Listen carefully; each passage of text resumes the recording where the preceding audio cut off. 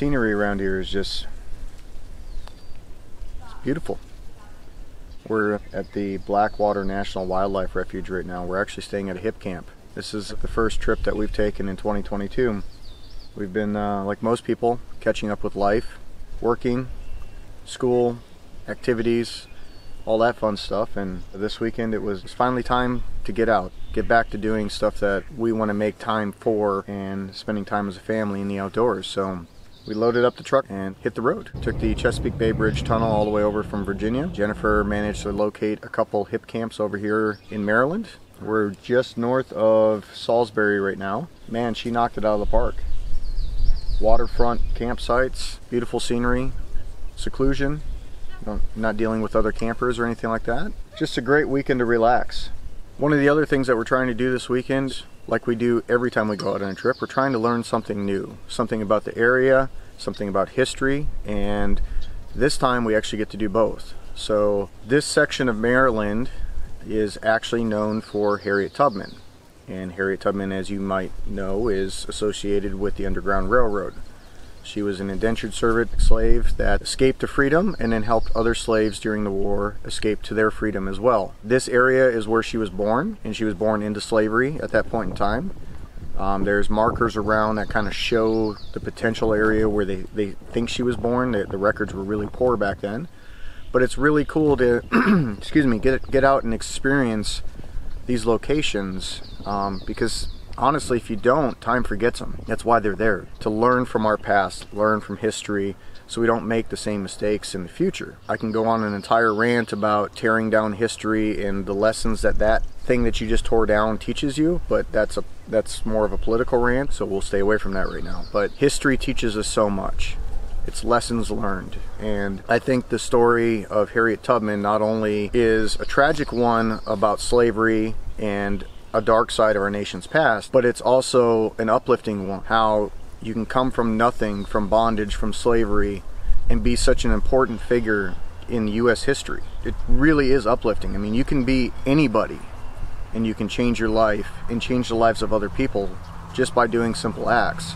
And Harriet Tubman, she's one of those people. She really is somebody to look up to because of that. It's fortunate that that information is still preserved. This weekend, we're taking the girls down that road so they get to experience that history and learn more about Harriet Tubman and why she's such an important figure in our history as a nation. Every time that we go out, we try to look for something along those lines. I'm a huge history buff. I love history, but lately, actually since before COVID, we started homeschooling our children and we use these opportunities when we're getting out, not only to enjoy nature and learn about nature and learn about taking care of our environment, but also as a learning experience from a history standpoint, from a cultural standpoint, um, and a societal uh, standpoint to make them better people as well. I didn't get to do a lot of that. Jennifer didn't get to do a lot of that as we traveled when we were kids.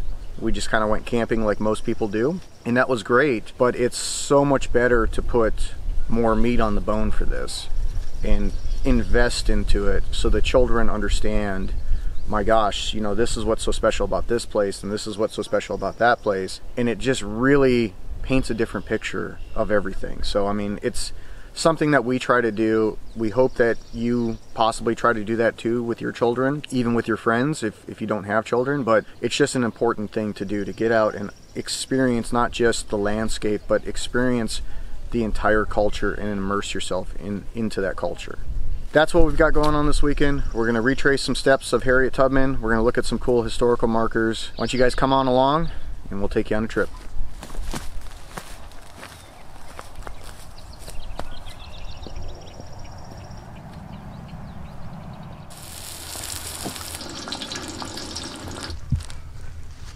Good breakfast, honey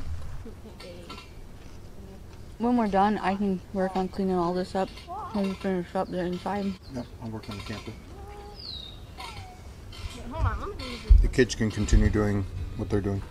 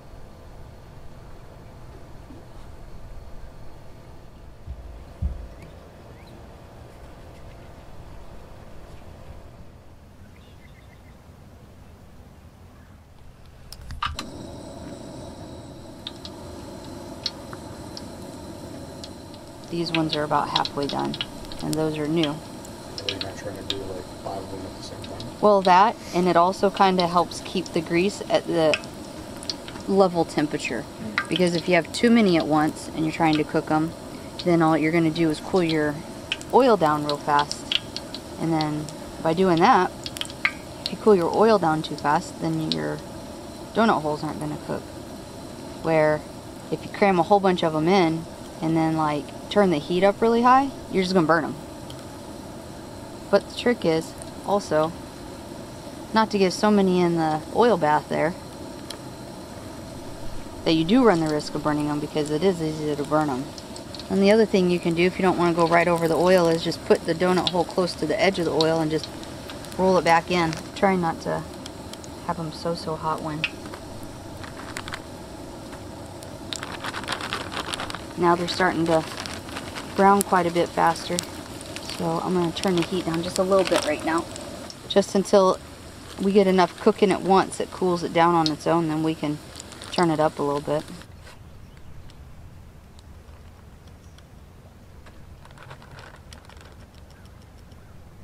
There we go. It's not bad. I think I started around 9 o'clock cutting them. 9.28 now. Mm-hmm. It's not too, too bad.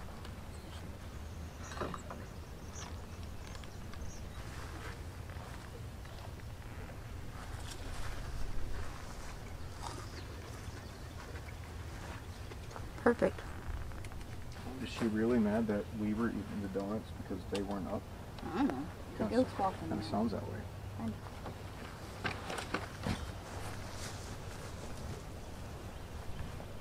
Steal the donuts. Get me.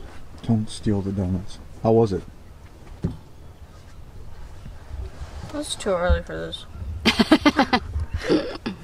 It is never too early for this. It is always too early. I'm gonna turn around so you can't see it. Good morning. No. Get dressed so you can eat donuts. Donut.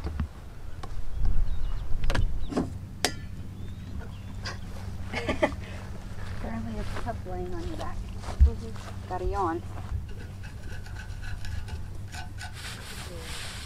All right.